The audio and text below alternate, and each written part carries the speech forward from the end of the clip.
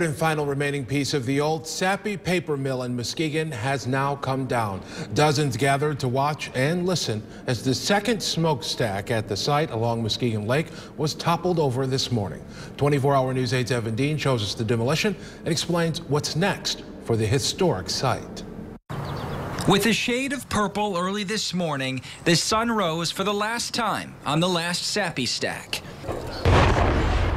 And as the sun rose higher, dozens gathered to watch as the towering smokestack was demolished.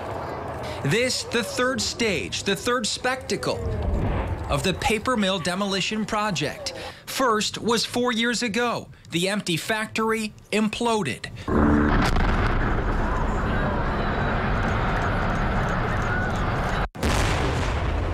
Then, earlier this summer, the view from Drone 8 as the smaller smokestack was taken down. The paper mill closed in 2009 but had employed hundreds of people for more than 100 years.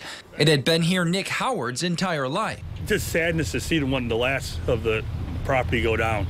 You know, I grew up here in the neighborhood and it's, you know, kind of a landmark. You know, I told everyone, you know, I told people where I live. I live up the road from the paper mill, Sappi. So it's uh, just sad to see one last, the last thing go down for the most part. But this is no doubt a time of transition, and there's optimism about what will fill the mill's shoes at this site along the lake. An investment group called Pure Muskegon bought the 120 acre property and will transform it into a development called Windward Point. Among the possibilities along the waterfront, a senior living complex, a hotel, restaurants, and more. Howard is hopeful. Then excited to see what's going to come next. Mm-hmm. And, you know, hopefully what comes next is something good for the whole community, the city. From Muskegon, Evan Dean, 24 Hour News 8.